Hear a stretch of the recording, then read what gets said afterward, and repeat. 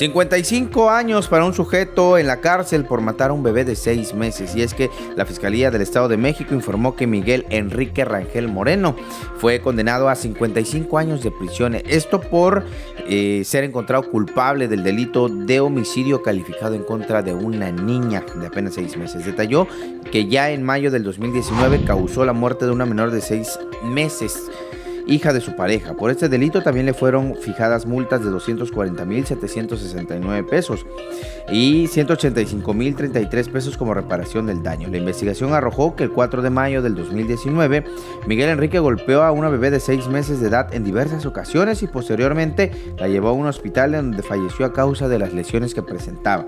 En dicha fecha, la menor fue hallada bajo el cuidado del sujeto al interior de una vivienda en el barrio Tepex Coyuca, en el estado, en el municipio de Ocoyoacac, cuando este individuo la agredió.